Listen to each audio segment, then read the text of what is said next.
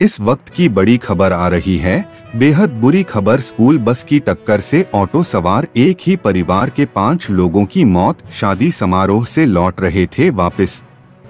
पलवल ज़िले के गाँव कमरावली में सड़क हादसे में एक ही परिवार के चार लोगों की मौत के हादसे से अभी लोग उभरे ही नहीं थे कि शुक्रवार की सुबह गाँव होशंगाबाद के निकट स्कूल, बस और ऑटो की भीषण सड़क दुर्घटना में एक ही परिवार के पाँच लोगों की मौत हो गई, जिससे गाँव सुल्तानपुर में मातम पसर गया है।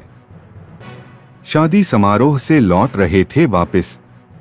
डीएसपी विजयपाल ने बताया कि गाँव सुल्तानपुर और घररोट निवासी एक ही परिवार के दर्जन भर सदस्य पलवल के गाँव असावता में एक शादी समारोह में शामिल होने के लिए आए थे और आज सुबह वह शादी समारोह में शामिल होने के बाद ऑटो में सवार होकर अपने घर वापस लौट रहे थे। जैसे ही वह गाँव होशंगाबाद के पास पहुँचे तो ऑटो को सामने से तेज रफ्तार में आ रही स्कूल बस ने टक्कर मार दी।